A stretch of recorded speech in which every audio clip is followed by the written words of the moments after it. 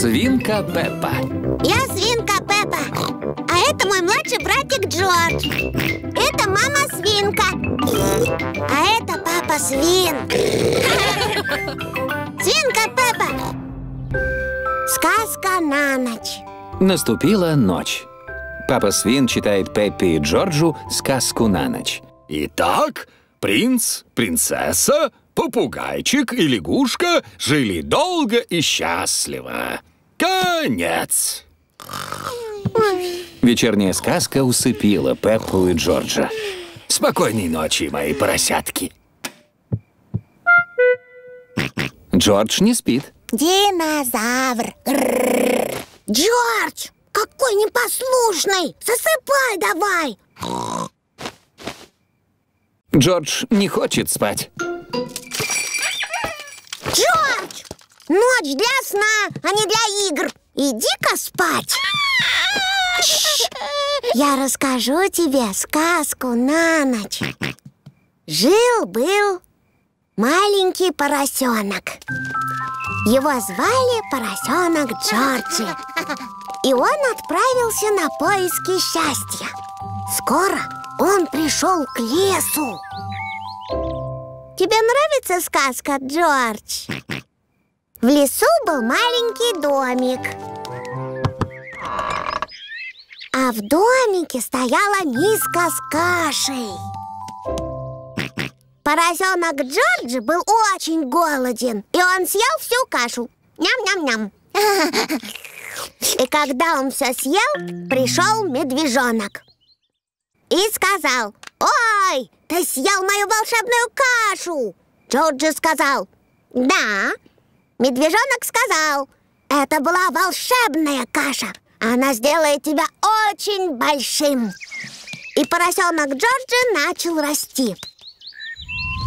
Он рос, рос и рос И стал выше всех деревьев в лесу. Конец. Ты хочешь спать, Джордж? Нет. Совсем нисколечко? Нет ладно, я расскажу еще немного. Медвежонок сказал Я знаю, на краю света есть сундук золотых сокровищ Но мне туда не дойти, потому что я слишком маленький. Джорджи сказал Я отнесу тебя туда И поросенок Джорджи пошел на край света. Он шел и шел и шел Ты уже хочешь спать? Нет. Он шел через леса, через моря, через горы. Ты засыпаешь? Нет. Он дошел до самого конца света И нашел большой сундук золотых сокровищ. О, и большого дракона. Грррр. Да, большого зеленого дракона С маленькими крыльями, дышащего огнем. К счастью, дракон был добрым. Он сказал, можешь взять сокровища Но тут поросенок Джорджа стал уменьшаться.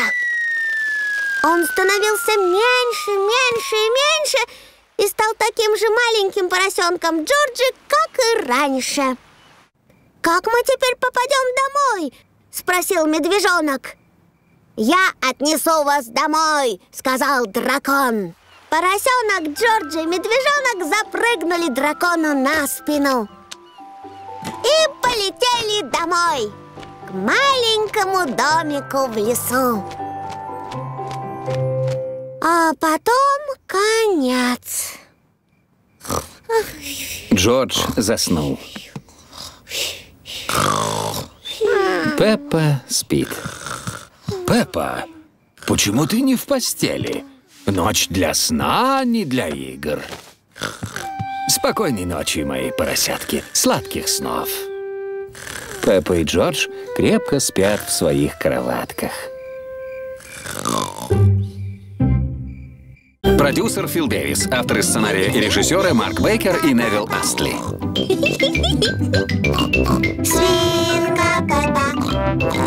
ハハハハ!